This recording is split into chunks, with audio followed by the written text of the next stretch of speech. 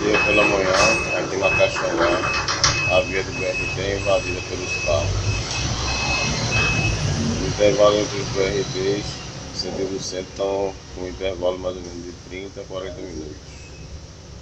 Não tem fiscalização, cadê a CTTU?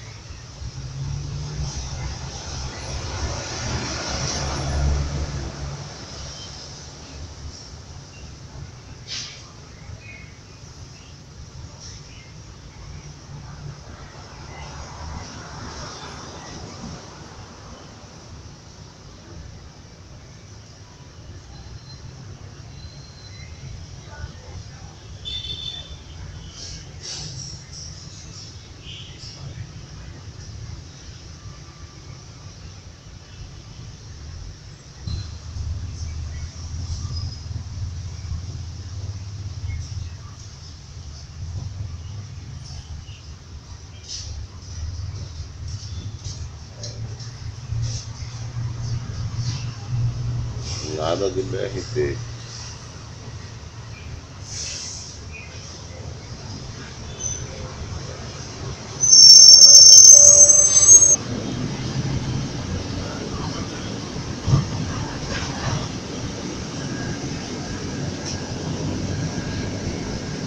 Toda a faixa do BRT invadida aqui pelos carros, intervalo de 40 minutos nenhum agente de trânsito, muito menos os amarelinhos ou os da CTTU.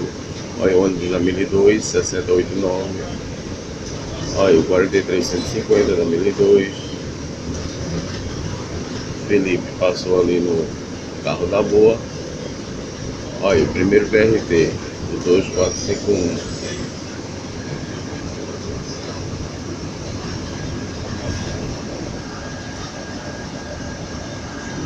Olha pra aí que carro.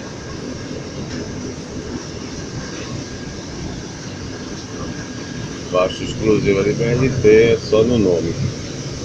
É faixa exclusiva de carro e moto, né? mais outro.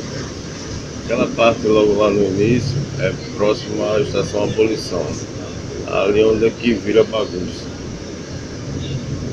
Entendeu? Com isso os, os são atrasados e não consegue também fazer o retorno lá pelo DER. Tudo engarrafado no DER. Ó, mais outro, aí o pessoal anda tranquilo.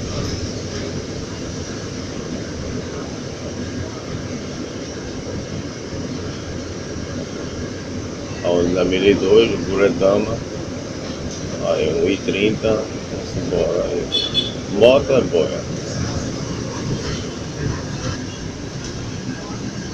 Agora que está aparecendo BRT, tem carro atrás dele, mais outro e outros. E a faixa continua, né? Da faixa exclusiva do BRT só no nome. Se tivesse aquele meio fio um pouco mais alto, em vez desse gelinho baiano miudinho, um amarelo, que o pessoal chama de cascudo, né? Seria melhor, como é no Rio de Janeiro. Chegando na estação Forte do Arraial, mais um BRT ali parado.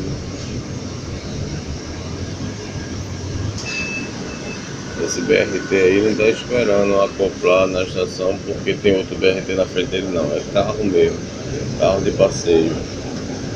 E vem mais atrás dele.